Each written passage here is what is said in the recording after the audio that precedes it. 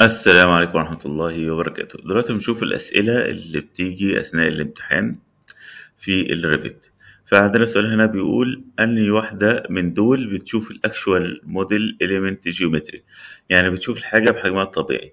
legend ولا section ولا drafting ولا schedule؟ طيب أول حاجة نشطب عليها ال schedule لأن ال schedule بتشوف أرقام ما بتشوفش حاجة بمقاسها الطبيعي.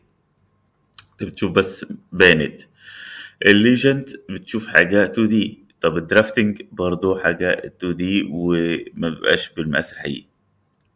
ال legend برضو مش بالمقاس الحقيقي. هي ال section وال floor plan هما بس اللي بالحجم الطبيعي.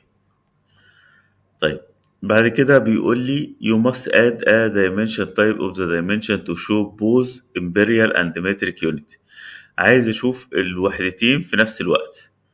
طيب ال unit format لا ده هنا بنظبط الاعداد بتاعت ال unit format. equality formula دي المعادلات. text note ملهاش علاقة. يبقى alternative unit طيب خلينا نشوفها. ماشي؟ عشان تعال نشوف أي dimension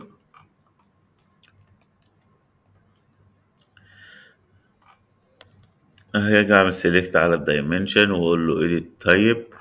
هنزل هلاقي عندي alternative unit. بيقول لي none أقول له لا أنا عايزها واحدة كمان تحت. وهنا هغيرها اخليها متر أو اخليها انش وأقول له حط لي رمز الإنش. okay okay. فبقى عندي واحدة هي بالمتر وواحدة بالإنش.